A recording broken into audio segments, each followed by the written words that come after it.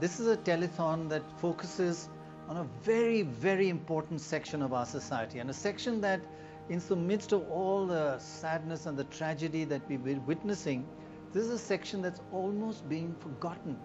That's our small and marginal farmers. Hundreds of millions of farmers that in normal times puts food on our, each one of our plates.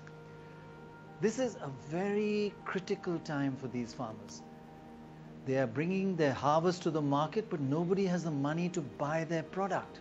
So their crops or vegetables or fruit that would normally sell for say 800 to 1000 rupees a quintal, they're getting only 100 rupees instead of 1000 rupees or 800 rupees. How will they survive? We must not forget them.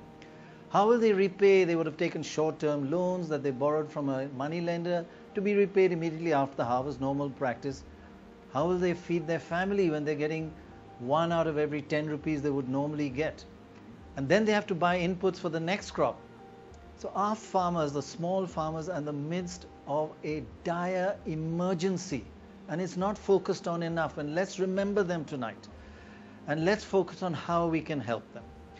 So as uh, uh, Vishnu Nidhi mentioned, today we are focusing on a wonderful organization called Rang De.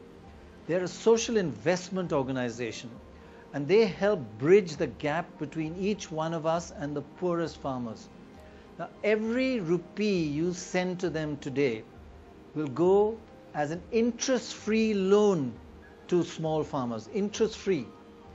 The important factor is you will know which farmer you are supporting. It's from when they when Vishnu mentioned peer-to-peer or you hear the term peer-to-peer, it means it's from you to one farmer or 10 farmers or 100 farmers and you know each one. So the important fact is you will know which farmer you're supporting. All the details about the particular farmers you're supporting will be known to you and transparently given on their website. It's a loan from you to save the lives of one farmer or 10 farmers or 100 farmers depending on how much you uh, uh, send, uh, send in today. It, it's an amazing concept. And, and it's so important at this very difficult time. Remember, just a simple uh, rule of thumb, for every 10,000 rupees you send in, one entire family of a small farmer will be saved. 10,000 and an entire family saved from terrible, terrible hardship ahead.